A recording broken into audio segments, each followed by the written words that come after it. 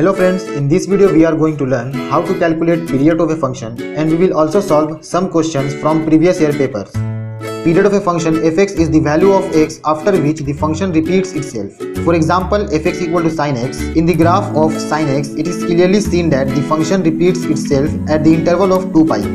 Mathematically, we can write a periodic function as fx is equal to f of x plus t, where t is the period of the function. Also, we should note that not all the functions are periodic like fx equal to log x, fx equal to x square, fx equal to x and some other functions. To find the period of a function in examination we have to learn some rules.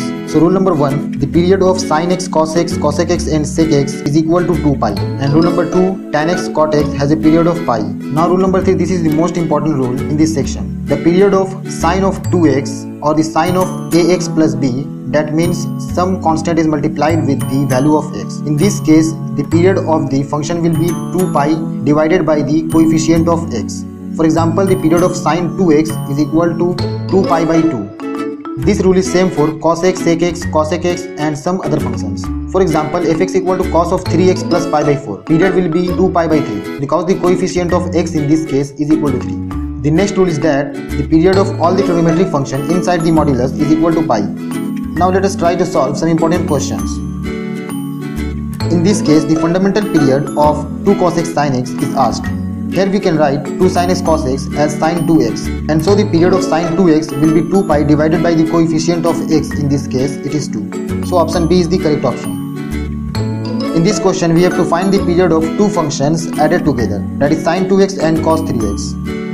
In this type of questions we have to take the LCM of individual periods so the period of this function will be LCM of 2 pi by 2 and 2 pi by 3 which is 2 pi.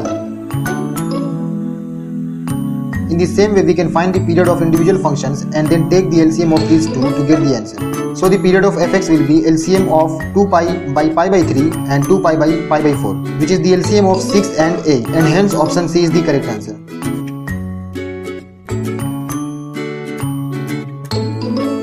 Here we have to find the period of two modulus functions added together. So in this case, the period will be LCM of pi by 1 by 2 and pi because the modulus function has a period of pi and sine of x by 2 will have a period of pi by 1 by 2 because here the coefficient of x is 1 by 2. So the period of fx will be LCM of 2 pi and pi that is 2 pi.